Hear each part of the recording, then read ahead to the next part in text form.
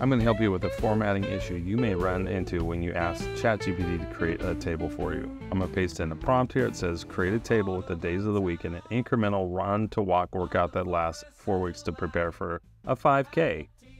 That will give me a table. I hit enter. This is just kind of a dummy uh, prompt to get us the table in ChatGPT.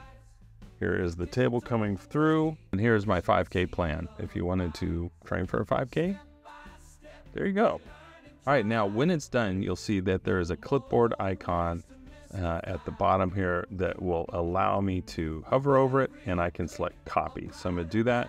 I'm gonna go to Microsoft Word. I'm gonna paste this not in the header, but in the body. And you can see the formatting, not good. I'm gonna undo that. I'm gonna go to Google Docs, paste in there, formatting, again, not good. I'm gonna undo it. So I'm gonna come back here. Why won't this allow me to copy? Well, if you click and drag over it, I'm just going to select the table, Command C or Control C on a uh, Windows.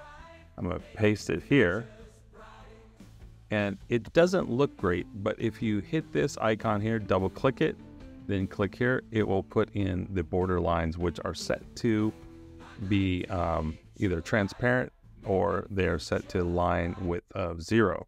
So I'm going to go to Google Docs. I'm going to show you that same thing. Doesn't have the same uh, thing to click on. So I'm just going to highlight everything here in my table. We go to these three dots and I'm going to see the border color is set to black, but the line width is set to zero. So I'm going to choose a one uh, pixel, one point line width. And there you go.